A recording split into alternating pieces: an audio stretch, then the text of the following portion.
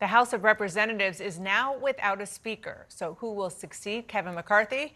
Joining me now to talk about that is Republican Congressman Dave Joyce, who is a supporter of Kevin McCarthy. Thank you so much for joining me. It is very clearly raw when it comes to the emotions up there.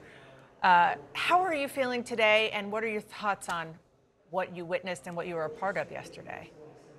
Well, Dana, it's always a pleasure to be with you. Uh, obviously, you hit it right on the head, as always. Uh, emotions are raw.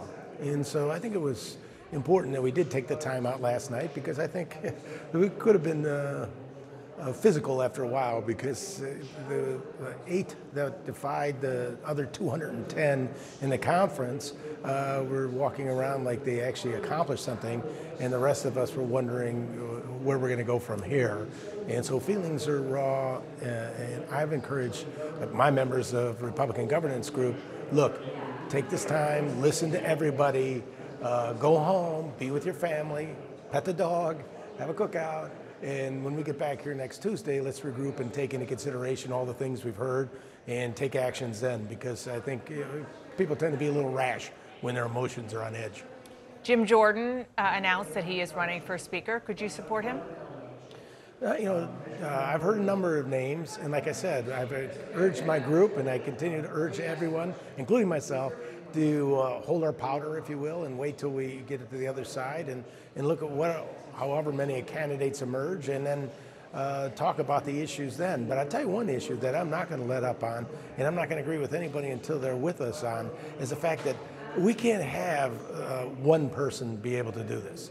You know, you get a ringmaster who enjoys uh, he and his buddies the self-flagellation of going out there and saying they're accomplishing something and they're fighting for the people by doing what? By grinding this place to a halt so we can't get our work done? That's nonsense, and it needs to change. I wasn't a fan of it when Kevin relented on it, but Kevin thought, you know, by doing as he had done, doing everything he was supposed to do, it wouldn't come up. But you know, sometimes forget about the uh, perverse uh, antics of some of these folks that they rather fundraise than actually fix things. You uh, mentioned earlier that you're happy about the House taking a breath, taking a, a week to try to figure out what's next. But it is true that the House is paralyzed uh, for a week until that happens. I want you to listen to, I think, the person you were referring to when you said ringleader, Matt Gaetz, what he said about that.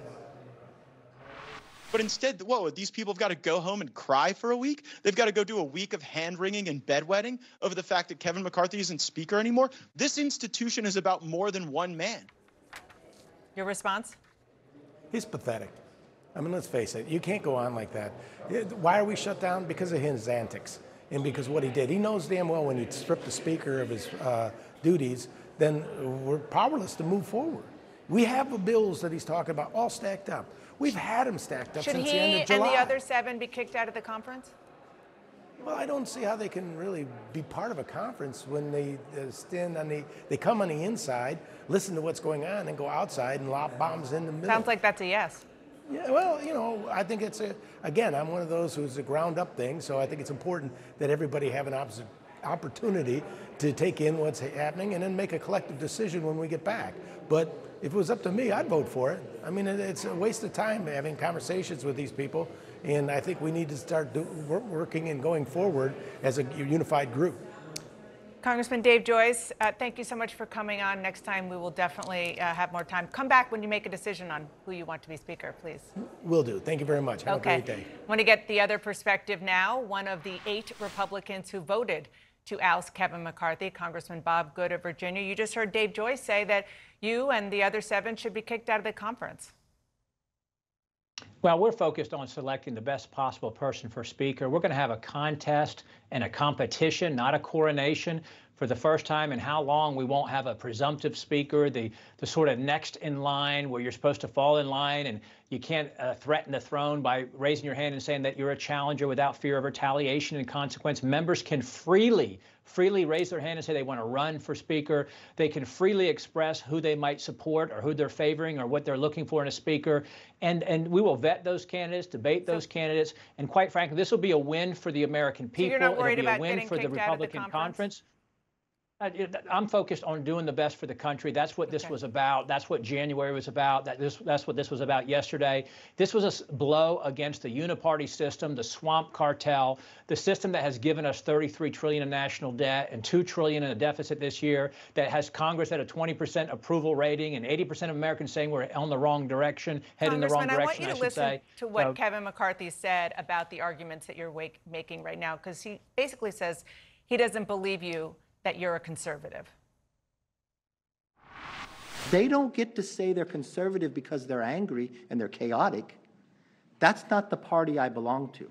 The party of Reagan was if you believed in your principles that you could govern in a conservative way. They are not conservatives and they do not have the right to have the title. Your response? Well, I'm- I can understand Kevin is upset, but I don't think most Republicans would say Kevin is the one who measures what is a conservative and what isn't. Certainly, if he had fought for our conservative principles, if his, if his anger and his fighting spirit was intense towards the border and towards the reckless Democrat spending and towards the weaponization of the federal government against its citizens, and if he was as committed to keeping his commitment to uh, bring our bills to the floor for a vote well before the September 30 deadline, to bring a balanced budget, to not let the Democrats roll us with a debt ceiling agreement or not roll us with the, the CR that just passed with 209 Democrat votes in the House and 51 in the Senate, uh, th- th- then perhaps he would still be Speaker. You uh, have to decide who is going to be Speaker. You're obviously going to get a vote as a member of Congress. Jim Jordan confirms that he's running. Will you support him? Uh, I'm going to wait until we have the candidate forum. Uh, I've got candidates reaching out to me, and as I told folks who said, "Oh, you don't have a plan, you don't have a candidate," they said that back in January, and they said that before yesterday, when we all knew that no one was going to be a public candidate until there was no speaker or no presumptive speaker. So now we'll have that contest, a healthy So you competition, haven't decided who a you healthy want? struggle. Uh, haven't decided, and and and there's there's several candidates I think are qualified and capable and experienced, have stature and credibility and influence within the conference. So w- the great thing is it will unify us to come together. We will have to So come you- together and with 218, hopefully 221 in the conference meetings. Uh, hopefully just a day it takes. Maybe it'll take two or three days. It's Fewer- better to get it right than to do it than to do it wrong quickly, and then hopefully we'll come to the floor with all 221 voting for it on the first ballot. Fewer than six weeks until the government shuts down again. If whomever the next speaker is cuts a deal with Democrats or deigns to um, get Democratic votes to keep the government open, will you do the same thing to that speaker? Well, the good news is we will be uh, together assessing those candidates and getting what, what is their plan, what is their strategy, what are their commitments, uh, what will they do differently. And again, if, if 221 of us vote for that speaker, we have a vested interest not only to doing what's best for the country, which should be paramount, but secondly, what helps us to advance our true conservative principles and to do our best to stop the Biden Pelosi Schumer regime. Obviously, Kevin McCarthy has you. left the incoming speaker in a tough spot because he didn't pass but for the, sp- the spending bills. He didn't keep his commitments. So that speaker has the deadline of the calendar uh, threatening him as well. Congressman Bob Good, Republican of Virginia, thank you so much for coming on. I appreciate it. Thank you. Great to be with you.